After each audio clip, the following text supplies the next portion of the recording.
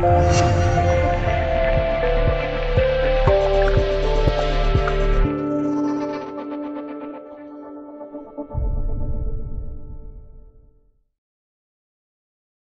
击上方小特聊神话，关注我们宋朝被定性为统一的朝代。我认为主要有这几个考虑：第一，在版图上，宋朝保留了中国的主体骨架。宋朝的版图和唐朝的版图相比，主要丢失了三块：一块是西北西域那一部分被西夏给占据了；一是北方的燕云十六州那一部分被辽国给占据了；一是南方原属于唐朝的安南等东南亚地区。形成了相对独立的局面。不过，虽然失去的比较多，但是这些失去的都主要是边区，而作为中国的主体部分是没有失去的。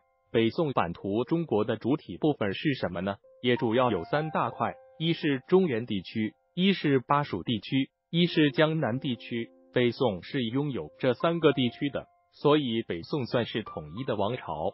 三国的情况不一样，魏、蜀、吴三国。刚好分别拥有中原地区、巴蜀地区和江南地区，主体骨架分成三部分，当然只能算分裂的朝代。第二，古代中国是一个从小到大各民族不断融合壮大的过程。宋末元初无疑是一个分水岭，在此前，整个中国存在着北方少数民族和南方汉民族拉锯战的一种状态，北方少数民族本身也在极快的分化发展。在一定的时期，某个民族会异军突起，强大起来。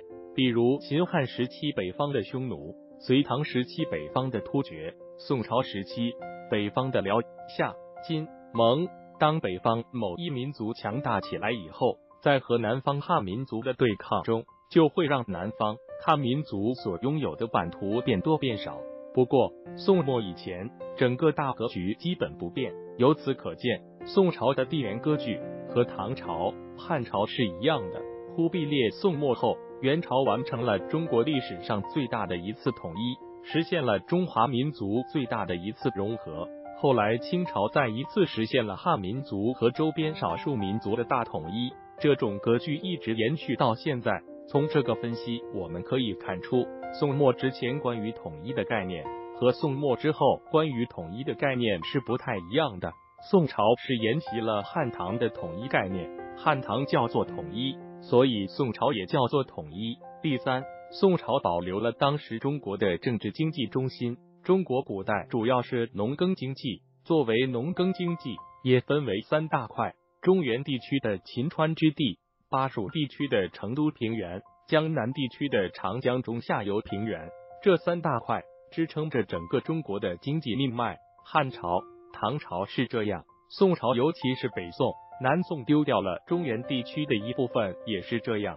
宋朝农业生产图景作为政治中心，在宋末以前，政治中心主要是中原的长安、洛阳、开封等地。宋朝把这个中心保留下来了的。在宋末以后，由于元朝的建立。燕京后来的北京才成为政治中心，而明朝虽是汉人建立的朝代，因为朱棣的前邸在北京，所以政治中心移到了北京。当宋朝的政治经济中心和汉朝、唐朝一样的时候，也因此可以称宋朝为一个统一的朝代。参考资料：宋史 and。